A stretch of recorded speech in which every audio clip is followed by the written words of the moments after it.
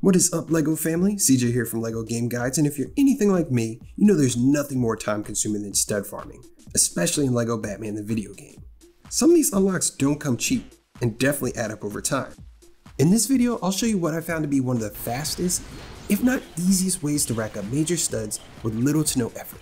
But before we go any further guys, let's get those likes up and most importantly, be sure to hit that subscribe button along with the bell so that you're always up to date with the latest and greatest from the channel. Okay, so first let me mention that power-ups are absolutely essential to this strategy. In normal cases, you unlock these by collecting power bricks, but for the sake of time, we can actually do this all from the cheat codes menu. Cheat codes can be entered from either the second floor of the Batcave or in the very first room of Arkham Asylum. We'll start off by entering stud multiplier codes 2, 4, 6, 8, and 10. Now what's really cool with these 5 power-ups is that they actually stack, meaning that for every one stud collected, its value will be multiplied by a whopping 3,840. Not only is this super helpful when it comes to farming, but will also have us maxing out stud counters in a matter of seconds.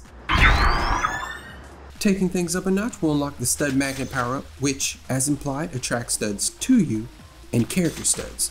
Finally, we'll unlock the Invincibility power-up and Harley Quinn's Hammer Truck, which you'll see come in handy later on in the video. Just as a quick side note guys, all codes mentioned here will be in the description below and should work across console and PC versions of the game. Now that we've unlocked all the necessary power-ups, let's go ahead and activate them from the pause menu and we are officially ready to go.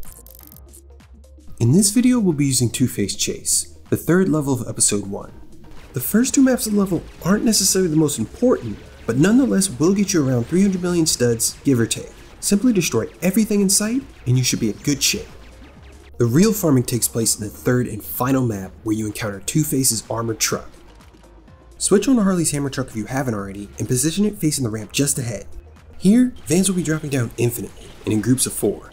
As opposed to any other vehicle, Harley's hammer truck gives us that much needed height advantage to take these guys out either from a distance or up close, prompting faster enemy respawns. These four vans in total should net you a good 10 million per round, and will keep coming just as long as they're destroyed. Now occasionally, Two-Face will send some suicide bombers your way, but with invincibility and character studs enabled, this will only provide additional studs at zero the cost.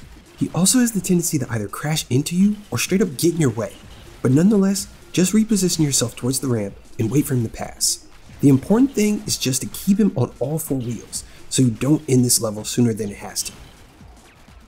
Now in just 8 minutes, I was able to get a little over a billion studs here, excluding the 300 million studs I got from the two maps prior.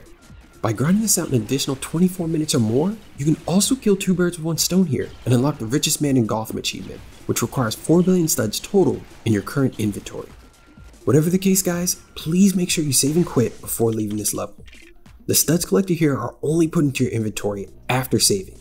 Now at this point, we've officially reached the end of the video. If you followed along, big congrats to hopefully being crowned the richest man in Gotham.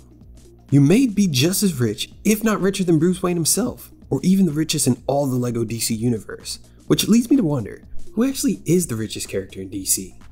Anyway guys, leave a comment below if you happen to know, and if you have a go-to farming strategy of your own, definitely let us know. Thanks so much for watching, and if you found this video helpful, please make sure you subscribe if you haven't already and hit that like button.